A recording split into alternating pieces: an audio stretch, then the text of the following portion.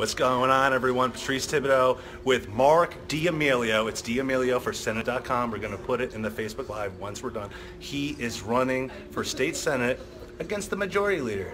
Tell him what's going on, Marc. What's going on? Well, we're making, we, we've had a great time. So we, we put together a video. What I wanted to do is basically let the people of Norwalk and Darien know a little bit about me. I'm obviously new to politics and I'm going against a Senate Majority Leader, so I had to come out swinging. Uh, our video is on Facebook. It was done uh, by my team. It's up to about 42,000 views and it's doing really well.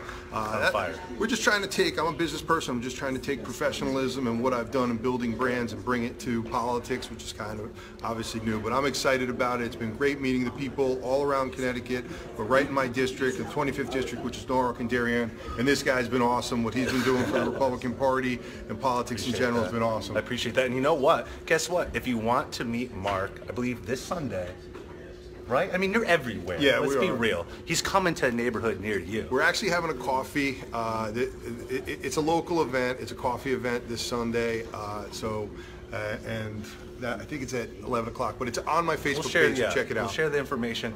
And one more thing, Bob Duff, were you guys supposed to debate? What's going on with that? Is Bob running away? I don't know what's going on with Duff. You know, when you're the Senate Majority Leader and, uh, you know, he, has got, there's nothing in it for him to, to come against me. And obviously, if he's going to talk about his record, he's going to lose. So uh, uh, we, we can't say he backed out, but we had a News 12 scheduled informational debate, uh, which last week. And, and last minute, I was told that he couldn't make it. So it's going to be Friday, October 5th in Norwalk and News 12. So bye bye I will be there. So hopefully he shows. bye bye Duff. Bye, That's what's going to happen. You know what? This man's going to get elected. You know why? He's going to help us take back the Senate because we need to take back the Senate.